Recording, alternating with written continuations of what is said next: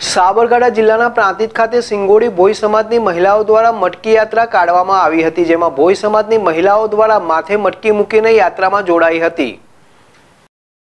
પ્રાંતિજ ખાતે રહેતા શ્રીમારી સિંગોડા ભોઈ સમાજની મહિલાઓ દ્વારા દર વર્ષની જેમ આ વર્ષે પણ ભાદરવા સુદ નોમના પવિત્ર દિવસે મોટા માઢ ખાતે રહેતા અને પ્રાંતિજ નગરપાલિકાના પૂર્વ મહિલા કોર્પોરેટર રીટાબેન દિલીપભાઈ ભોઈના ઘરેથી દર વર્ષની જેમ આરતી બાદ ગાગર બિલની જળયાત્રા કાઢવામાં આવી હતી.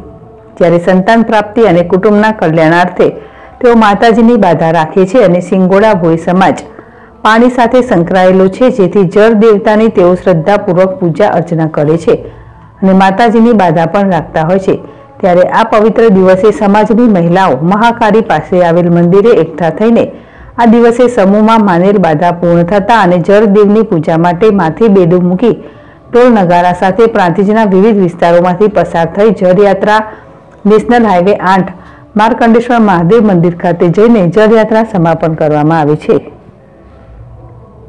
જીલ રાવલ જેડેશ ટીવી, પ્રાંતિજ.